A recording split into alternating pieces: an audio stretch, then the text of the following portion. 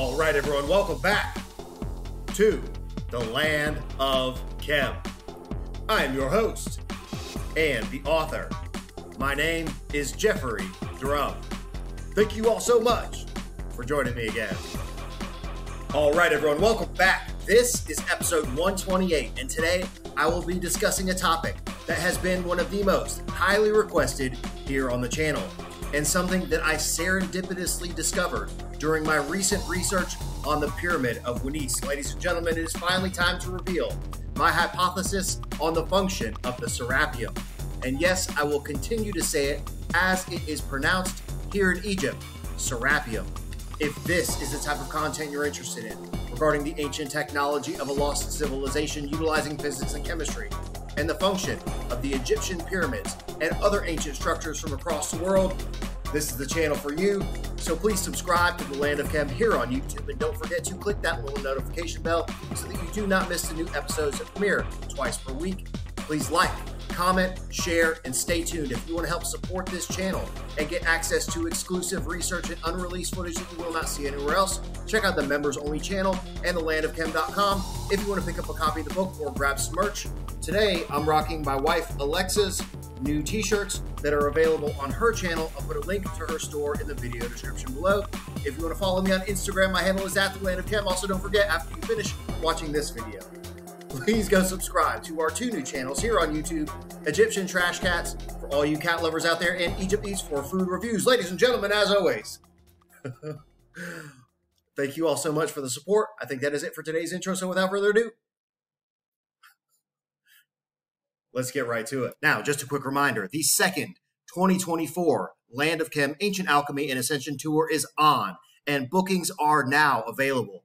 If you're interested in coming to Egypt to see the pyramids for yourself on this epic adventure experience coming up in early winter later this year, including an exploration of the Serapeum, please send me an email to contact at thelandofchem.com with the subject line Egypt Tour 3, and I will send you the full tour itinerary and pricing details. Thank you all so much, and I will see you soon here in the land of Chem. Now, before we begin, a point of clarification and elaboration on a statement that I made in episode 127 regarding the function of the Queen's Chamber shafts. And I will quote myself here regarding the northern shaft. Quote, Unfortunately, they were not able to fully navigate the complex turns of the northern shaft, so we still don't know what may be found inside of that shaft. End quote.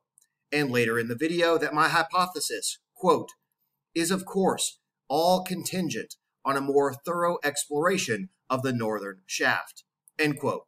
Let's start with my first statement regarding the preliminary investigation of the northern shaft, which was ceased and I will quote directly from Rudolf Gantenbrink here in this statement that Gantenbrink attempted a survey of the northern shaft a few days later, but the attempt was abandoned as he was afraid the robot might get stuck. Quote from Gantenbrink here The temptation is great to send the robot around the sharp bend at 18 meters, but since our short guide rods have suddenly turned up missing, the danger is too great that the robot might get stuck and might not be able to return. End quote. Now, on to my second statement regarding a more thorough investigation being required. After my video was published, I received an Instagram message from Matt at Ancient Architects, and he and I have been in touch a good bit over the past few months after he featured some of my Sunday site visit footage in one of his recent episodes, and we have since begun to develop a bit of a camaraderie and friendship. And he sent me this episode from his channel regarding the findings of the 2002 and 2011 investigations of the Northern Shaft to make sure I was aware of these secondary investigations, which, of course, I was.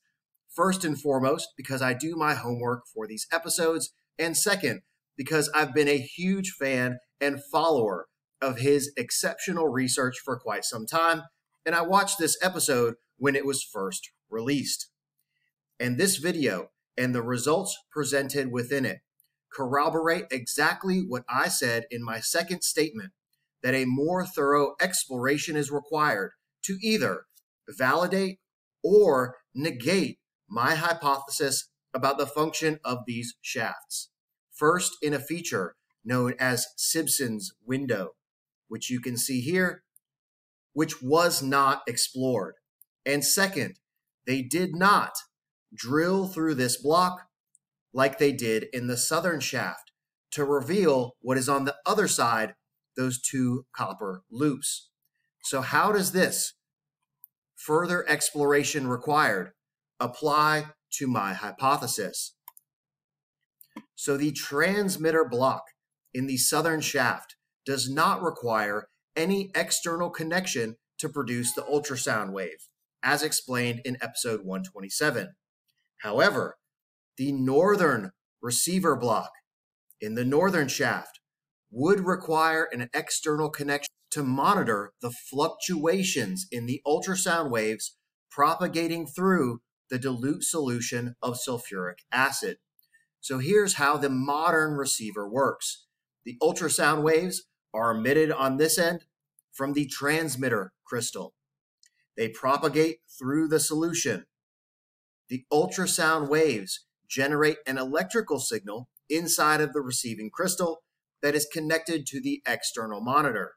So within the Queen's chamber, the copper electrodes embedded into the northern blocking stone wouldn't just be curved loops on the other side. They would be wires extending through the body of the pyramid and out of the structure. The strength of the electrical discharge transmitted through those wires would then tell the operator on the outside what was going on inside of the system.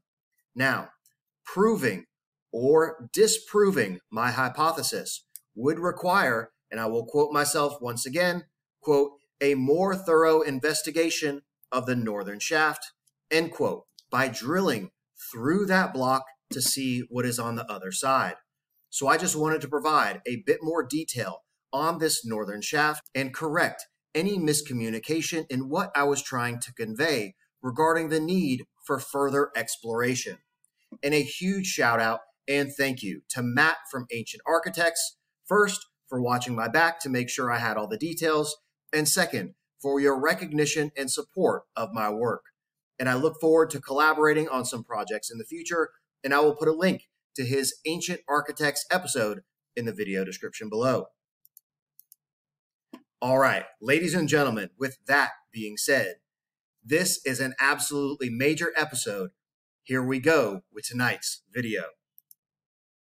And to begin, I'm about to show you a short clip from Members Only Episode 6, where I explain the function of the Avebury Serpent Temple Complex, including the Beckhampton and West Kennet Stone Avenues, which you can see here and here, as these will be directly relevant to the hypothesis on the Serapeum presented in today's episode. And I want to make one thing crystal clear that these stone circle systems, like Avebury, and their counterparts in the Egyptian pyramids, are not batteries. Let me say that one more time. They are not batteries. They are attractors and conduits for lightning strikes, and distributors and transformers of the associated electric currents and electric fields. And if you aren't a member, here is a preview of the type of content that you will get with your exclusive subscription. I hope you enjoy. The electric field will also be sent down each of the Stone Avenue conduits, allowing it to flow here and here toward each termination, the head and the tail of this serpent temple complex. So now, let's start with the electric field being distributed into the ground and into the water table surrounding the structure with an explanation of a very simple application, electroculture. And I will quote here Electroculture is described as the stimulation of growth in plants by the means of electricity passed into the atmosphere surrounding them or into the soil in which they are growing. There was a surge in research in the late 1800s through the early 1900s particularly due to earlier observations which tied electrical storms to improved plant growth. Further research determined that lightning fixes atmospheric nitrogen into a solid form, nitrates, which then dissolves into raindrops and enters the soil system. This was undoubtedly responsible for the reported improvement in plant growth after electrical storms. And this pretty much sums up application number one for these complex lightning storm generator and capacitor systems. But this is just the beginning. Take a look at this. And I will quote here the title of this article Electric Field Mediated Chemistry Uncovering and Exploiting the Potential of Oriented Electric Fields to Exert Chemical Catalysis and Reaction Control. And here from the abstract, this perspective discusses oriented external electric fields known as OEEF and other type of electric fields as quote unquote smart reagents, which enable in principle control over a wide ranging aspects of reactivity and structures. These OEEFs, oriented external electric fields, will accelerate reactions, control regioselectivity, induce spin state selectivity, and elicit mechanism crossovers. So recall that there are other structures connected into the landscape surrounding this serpent temple complex, such as the West Kennet Long Barrow. And these electric fields could not only have facilitated the chemical reactions occurring within, but would also have been effectively harnessed by the dielectric ferrous sulfate product that they were creating, which I have shown has a dielectric constant of more than double that of the limestone used in the Egyptian pyramids, making it extremely effective in storing electric fields. And this opens the door to an immense topic of discussion when we will return to the Egyptian pyramids to discuss the roles of these electric fields within the chemical reactions in those reactors. And I found it interesting that they chose to use an image of lightning bolts stimulating the chemical reaction vessel in their paper, as it beautifully illustrates the concept I am proposing. All right, next, on to the distribution of the electric fields into the West Kennet and Beckhampton Avenue systems, or as I like to call them, stone conduits. As you can see here.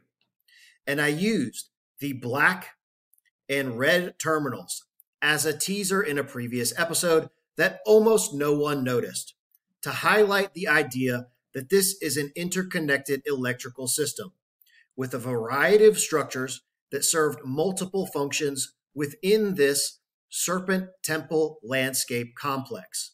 So now let's investigate the head end of the Serpent Temple complex, known as the sanctuary that you can see here in this 1723 depiction from William Stukeley, with Silbury Hill and Windmill Hill in the distance, Avebury over here, and the body of the serpent slithering up toward the head here, which is made from a much smaller stone and wood concentric circle system the remains of which I showed in Sunday Site Visit 35. And it may have looked something like this originally. And here you can see the long stone conduit more clearly that directed the electric field into this component of the system. And it turns out that wood is also a dielectric material with a reduced capacity for storing electric fields with a dielectric constant of 1 to 4 for dry wood that can be increased by up to six times for wet wood. So essentially, the Long Stone Avenue conduit system is a transformer with precisely spaced stones that reduce the extremely high and potentially dangerous electric field from the main system into a much lower electric field as it passes through the conduits that terminate at the sanctuary. And the reduction of these electric fields is important because the sanctuary, as appropriately named, was intended for the healing interface between the structure and the builders. All right, now that you've seen that clip explaining the function of the Beckhampton and West Kennet Stone Avenue conduits that were utilized for the step down transformation of high voltage currents and distribution of electric fields into other components of the Avebury Serpent Temple complex, the only way to harness the immense power of lightning is to essentially instantaneously distribute and transform the electric current. And that is exactly what was happening within the stone circle systems of England and Ireland and inside of the Egyptian pyramids. Now, let's turn our attention to the Serapeum in Saqqara, beginning with some important research regarding ultrasound acoustic cavitation for the production of hydrogen. As you can see here in this paper entitled Sonication to Hydrogenization, Sono Hydrogen, describing a novel approach is here developed by the author under the name Sono Hydrogen for hydrogen production. As a matter of fact, it has been well recognized that hydrogen can be produced by introducing ultrasound waves to liquid water. As compared with the other non renewable energy sources, hydrogen can be produced infinitely by simple means of separation from water molecules. This innovative approach is utilizing high frequency sound waves to produce hydrogen. Next, the approach here. It is an emerging technology and a combination of the power of ultrasound and the hydrogen production process when water is the liquid medium. When the ultrasound waves with high frequency pass through liquid water, it will lead to severe vibrations of water that result in generating acoustic cavitation bubbles. These extreme conditions provide an unusual chemical environment. When the collapse takes place, each bubble acts as a microreactor within which typical flame reactions occur. These microbubbles are obviously acting as microcombustors at which a combustion chemistry or reaction takes place. Then the collapse by the impact of the ultrasound waves leads to the formation of hydrogen molecules as illustrated in figure 2. And we have here figure 2 with the ultrasound probe submerged in water within the sonoreactor system. The probe generates the sound waves that produce acoustic cavitation bubbles with water vapor trapped inside. The bubbles oscillate in size and collapse, causing the dissociation of the water molecule, breaking it down into highly reactive radicals, hydroxide, and single hydrogen, resulting in the recombination of these highly reactive radicals into H2 and oxygen. Now, I have explained in many previous episodes how the quartz containing components of these systems, for example, the acoustic catalyst antechamber of the Great Pyramid, utilize external electric fields from lightning to activate the inverse piezoelectric property to produce ultrasound waves. So the external electric field being transformed into mechanical vibrations within the quartz to produce ultrasound is a critical mechanism of operation within these systems. Once again, they are not batteries, but rather distributors and transformers of electric current and electric fields, and it always begins with the lightning strike. So recall from our recent expedition to Luxor that the Luxor and Karnak temples are connected via an avenue of sphinxes. And it is no coincidence that the conduits of parallel stones at Avebury are also called avenues, as these components at both sites have the exact same function. And remember this detail when we return to discuss the function of the Luxor and Karnak temples in an upcoming episode. And it turns out that we also have an avenue of sphinxes in Saqqara, or rather, had past tense, as there are no traces that I'm aware of or have ever seen of this avenue of sphinxes. But you can see it here on this map from 1874. So we have the step pyramid complex here, the pyramid of Userkaf here, the pyramid of Teti here, and the avenue of sphinxes connecting the Serapeum here into a structure known as the Bubasteion and the northern enclosure here. And those of you that were paying attention to that members only clip may already see where this is going. And it turns out that the Bubasteion is constructed on a cliff face at the edge of Saqqara. And there was also a large outcrop of limestone bedrock within this temple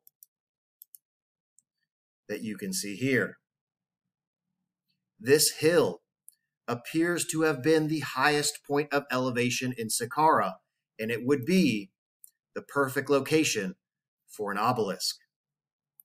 So when lightning struck this obelisk, dielectric breakdown of the stone material would occur, transforming the dielectric into a conductor, and the electrical current would be distributed throughout the bedrock of the Saqqara chemical manufacturing complex and along the Avenue of Sphinxes directly into the Serapeum. This configuration is extremely similar to what we see in the Avebury Serpent Temple complex and the West Kennet Long Barrow ferrous sulfate reaction chamber. So, what was happening inside of the Serapeum? This underground tunnel, chamber, and container system. And how did this structure transform that electric current? Let's start with the opening of the Serapeum here. And as always, we fill the structure with water to prime the system prior to the introduction of the electric current. Now, these massive containers made of black and red granite inside of the Serapeum. These containers are ultrasound generators, as are all of the containers within every structure that I have discussed thus far. For example, the containers inside of the Osiris shaft, as explained in Members Only Episode 9, are also ultrasound generators. These housings were filled with water. the electric current distributed through the avenue of sphinxes into the serapeum moved through the bedrock into the stone containers.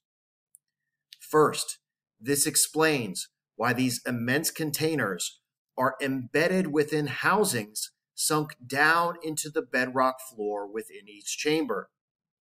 Next, the electric field induced within the container dielectric stone matrix material by the electric current is transformed by the quartz crystal embedded in the stone into mechanical vibrations that produce ultrasound waves.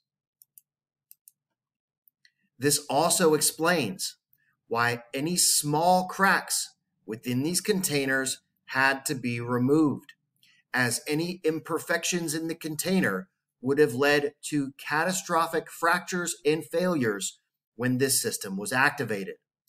Now, as explained in the research paper regarding ultrasound acoustic cavitation with water as the medium, these high frequency sound waves break down the water and release hydrogen and oxygen. As the sonochemical reaction continues, the hydrogen and oxygen accumulate within the upper vault of the chamber housing, which is connected into this underground tunnel system with these channels carved into the roof, which you can see here, that are configured in a precise manner so that the gases can flow out of each reaction chamber and out of the system for collection and separation.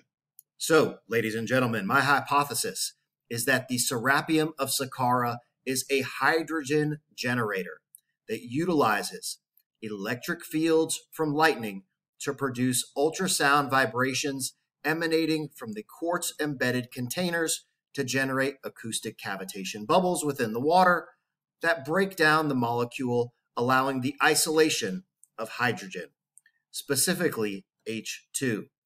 And I'm going to follow up this episode with an on site investigation of the Serapeum for this week's Sunday site visit, specifically to see if we can examine this component of the structure here and to explain this entire hypothesis in detail as I walk you through the subterranean chamber and tunnel system while presenting direct evidence from within the site itself. All right, everyone, that is it for today's video. This was episode 128, The Function of the Serapeum. I really hope you enjoyed today's video and in this week's Sunday site visit, an exclusive examination of the Serapeum and a detailed on-site discussion of the Sono hydrogen generation system presented in today's episode. If this is the type of content you're interested in regarding the ancient technology of a lost civilization utilizing physics and chemistry and the function of the Egyptian pyramids and other ancient structures from across the world, this is the channel for you.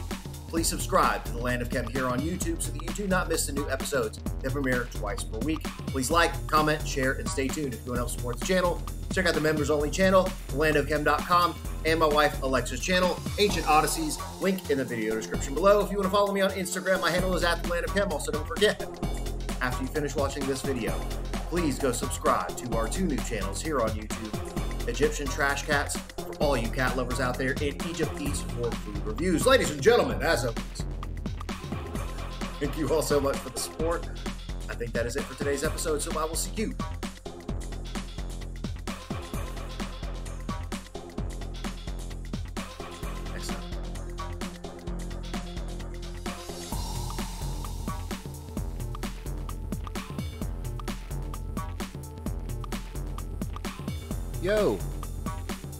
are you still watching this? Please subscribe to the Land of Chem here on YouTube and click that little notification button. New videos coming out every single week. And check out this other episode. Come on, do it. Do it now.